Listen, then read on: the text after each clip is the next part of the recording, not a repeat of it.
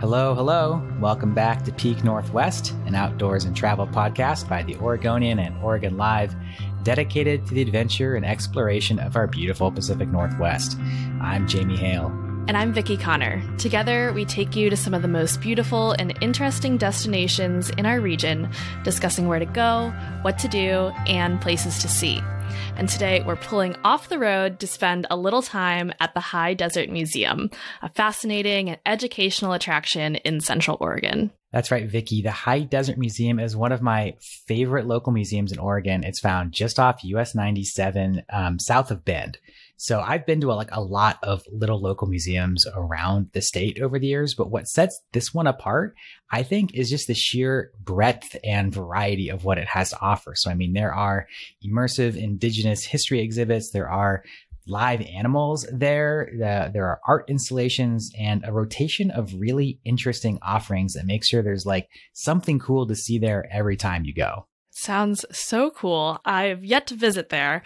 Um, but here joining us today on the podcast to tell us all about High Desert Museum is Executive Director Dana Whitelaw. Dana, thanks so much for joining us.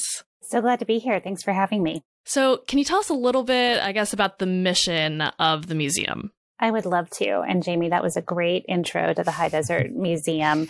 And I think um, a good place to start is 40 years ago. We just celebrated our 40th anniversary. And the inspiration for the High Desert Museum came from the founder, Don Kerr, who wanted to bring the wonder and awe of the high desert region to visitors.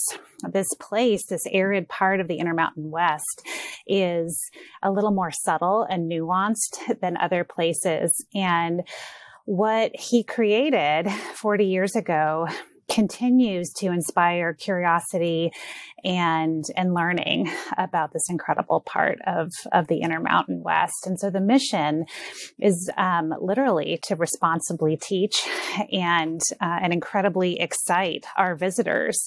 And that notion of excitement and seeing the unexpected is really what I think captures people when they walk through the door. So when people do walk through those doors, what is it they're going to see? Paint us a picture. When you walk through the doors of the High Desert Museum, well, you've already taken a left or a right hand turn off of Highway 97 and started your exploration of the high desert. You wander through a ponderosa pine forest. And so there's this immediate kind of calm and contemplative place that the museum has put you in.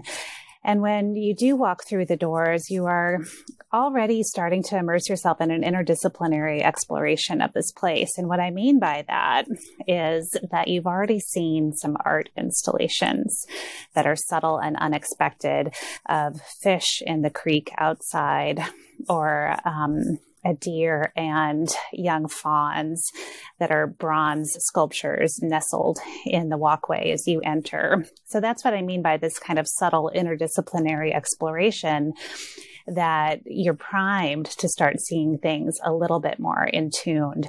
And right away, galleries greet you with um, interdisciplinary exhibitions. For example, right now we have an, an, exhibit on the Black Rodeo. And then down the hall, you will be introduced to a North American porcupine and a gray fox that are delighting visitors and really love their public as well and are wildlife ambassadors to undertold creatures that we don't get to see very often. And that's a little bit of a start of the type of um, introduction to the high desert that you see when you walk through the doors. Going a little bit further into the museum, you'll be put into the place and the space and the time to start thinking about since time immemorial who are the people who have been here and starting to explore and get to know and be inspired by the indigenous communities of the plateau region and that's a pretty incredible way uh, to start seeing things differently and understanding the um, the interplay of humanity and this landscape. So, okay, I must ask the the furry critters that you have, the animals. I'm a big animal lover. Can you tell me more about all of the animals that you have? Because I, when I think of a museum, I don't automatically think that there'll be you know animals around.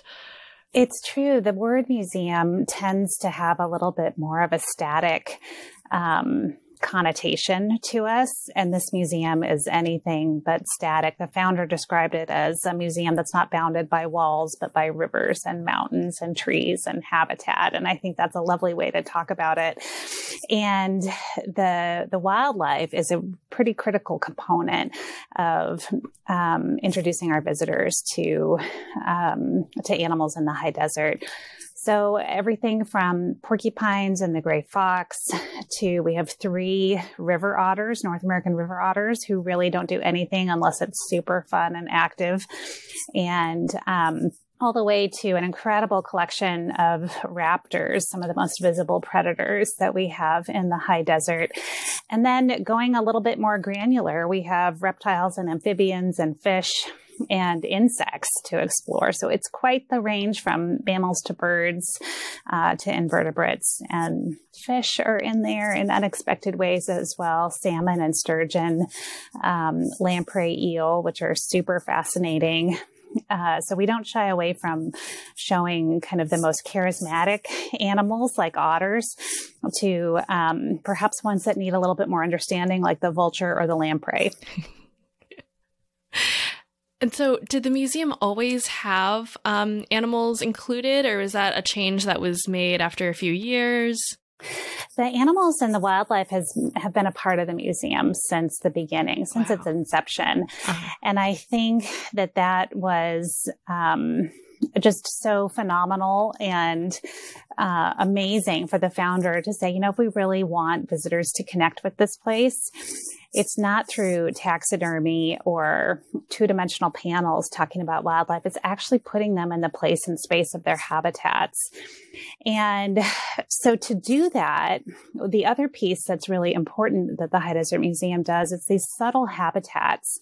So as you're wandering through the grounds, we have about a mile of trails.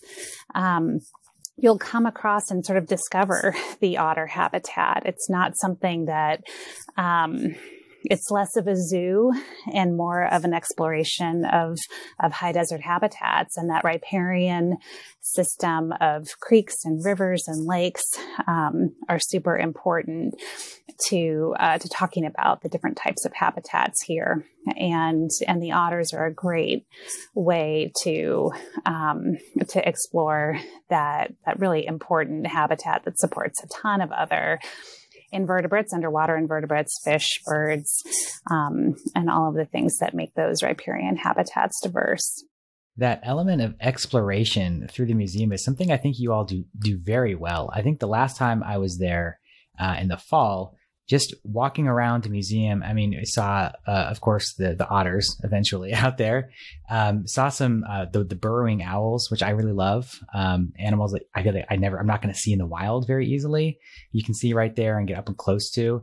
Um, but then just wandering across, like I mean, there was um, this interactive art exhibit. Um, that was about wildfire, I believe, that was on its way out, and there was another exhibit about um, you know designing different types of uh, shelters f- for climate change and climate catastrophe. And there's, of course, all the regular exhibits you have. There's the black rodeo photography, which was beautiful and fabulous. And what I love is like coming there next time. A lot of that stuff is not going to be there, but there's going to be new stuff in place of that. And it's that like constant rotation and that that sense of you can wander around and see so many different kinds of things that makes that experience really cool. I think that's something that the museum has really grounded itself in is always being something new, whether that's the otters are doing something new. Maybe they were napping the last time you were there and this time they're out frolicking in snow.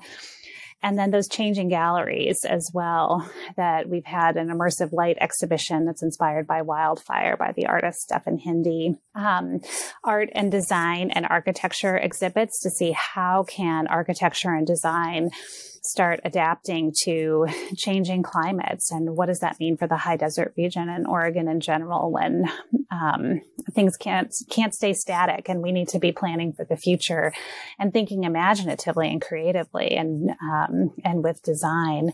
Um, a new exhibition that just opened explores the hidden part of the winter habitat, which is called the subnivean. So under the snow from the top of the soil to the top of the snowpack and an area that might seem static, but is actually a dynamic layer of habitat for all of the wildlife and birds and small mammals that stay here and don't migrate or live on top of the snow during the winter. So there's really moments of discovery depending on if it's an exhibition that you've seen before, but perhaps you're noticing something new or you're with somebody new that notices a different aspect to wildlife that's constantly doing something new or a changing gallery topic like the Black Rodeo or looking at the habitat under the snow. Well, all of this led to you all winning a, a pretty prestigious award a couple of years ago. Isn't that right? The museum won the National Medal for Museums and Libraries in 2021. We're very proud of it, and it builds on the four decades of incredible work that the museum has done. It's the highest honor in the nation for museums, and we're very proud. It recognizes service to community and I think when we think at our core, what the High Desert Museum does is we are an educational organization that inspires learning through wonder and awe and curiosity for this, this community to learn more about this incredible region that we are either neighbors to or inhabit. Amazing. Do you all ha- offer certain programs um, that you, you know, sign up for and you know, smaller groups that are led? We have a lot of learning experiences and certainly coming out of the pandemic, those in, in-person learning experiences are, are growing. Um, part of the museum experience is for sometimes 12,000 school kids that we host throughout the year. So school field trips and uh, educator led classes. We have a full 10 weeks of kids camps during the summer. And as a museum nerd myself, I can't imagine a better way to spend time as a young child to be able to kind of grow up in a museum like this.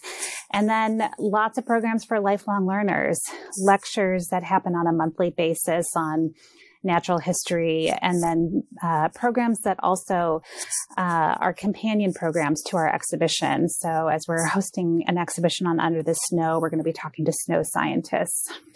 And then also workshops and field trips out into the high desert as well. Our wildlife conservation photography workshop is a highlight too.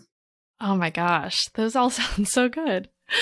Um, so, do you have any changes to the museum, any upcoming exhibits that you're really excited for? We'll be opening a new ex- exhibition at the end of January called Creations of Spirit that we've been working on for a couple of years. And what the vision behind this exhibition is to show our visitors how Indigenous works of art and um, Indigenous collections are actually alive and imbued with the spirit of the maker. And so we've been working with seven Indigenous artists for a couple of years. They're creating new work that they're using in their community and then they'll be brought to the museum to be shown um, in this um, kind of more vibrant way instead of objects in uh, glass boxes that you can't see and touch. We'll have a 16 foot Tule Reed canoe, for example, by artist Jefferson Greene from the Warm Springs um, Reservation. And he's never made a Tule Reed canoe before, but he's paddled this now in the Deschutes and it'll be brought into the museum. So these types of um, living objects, living traditions, and living works of art were really pretty um, moved by the, the creativity and spirit that these artists have brought these um, objects into uh, our visitor experience for the museum.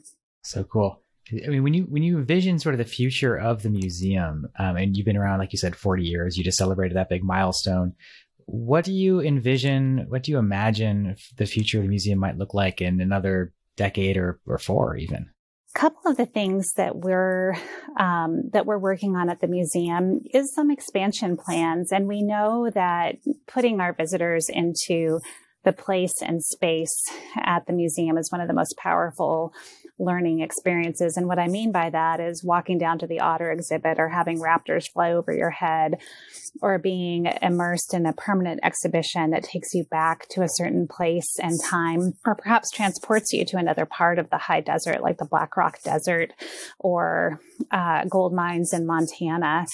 And one of the things that we're planning on is a canopy walk, which essentially brings brings our visitors out to explore up in the forest canopy.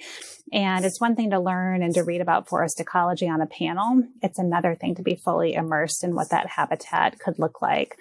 So that's one project that we have um, coming up a couple of years away. But we also know that art and art experiences are really resonating with our visitors. We are the largest cultural organization east of the Cascades. And without a dedicated art museum on this side of the mountains, we have some amazing community art centers.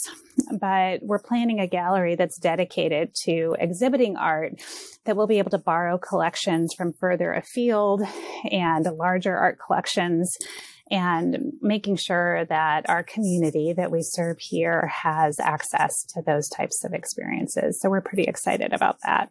Wow. So for for folks who want to come visit the High Desert Museum, um, what what are the sort of the basics of what days are you open? What are the times? What's the admission? What should people know about about before they go and uh, visit?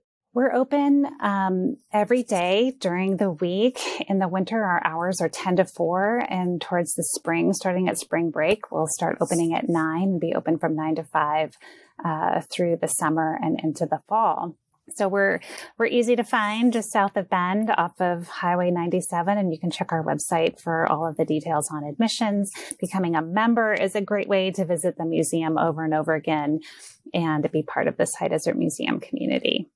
Well, we uh, here are a you know outdoors and travel podcast, and of course, the High Desert Museum is situated in a, a really beautiful natural setting. So, um, I, I, wondered if you could maybe give a few uh, uh, recommendations for folks if they wanted to maybe go on a hike, go see something cool. What are some spots that are right there around the museum? There are some incredible places to explore around the High Desert Museum, and some of our favorites are further south at Lava Lands, which is part of the Deschutes National Forest complex. Um, there are the Lava River Cave is another pretty exceptional experience to go underground and see some of the amazing geology that adds to this landscape. Further up the mountains, um, there's some great hikes up on the Cascade Lakes. And then we love the Sagebrush Sea out east of us. So the Badlands area, that's a wilderness area. And heading out just a little bit east from Bend is a pretty incredible way to start exploring the high desert. Well, Dana, thank you so much for coming on and talking with us today. Uh, really appreciate you taking the time. So great to chat with both of you. Thanks for showing interest in the museum. Absolutely. Well, I think that'll do it for us today, folks. But until next time, you can watch our videos on the Oregonians YouTube channel and view all of our travel and outdoors coverage on OregonLive.com slash travel, as well as hereIsOregon.com. Please leave us a rating or review if you enjoy the show. And if you want to support this podcast as well as our local journalism, please consider a subscription to Oregon Live. You can find details at OregonLive.com slash pod support. Also, if you're a fan of the show and you're interested in potentially sponsoring it, you can get in touch with our marketing people at advertise at oregonian.com. This episode of the show was produced by me, Vickie Connor, alongside Jamie Hale, Andrew Theen, and Elena Neal Sachs. Stay safe and happy travels, everyone. Until next time, we leave you with this 10 seconds of Zen.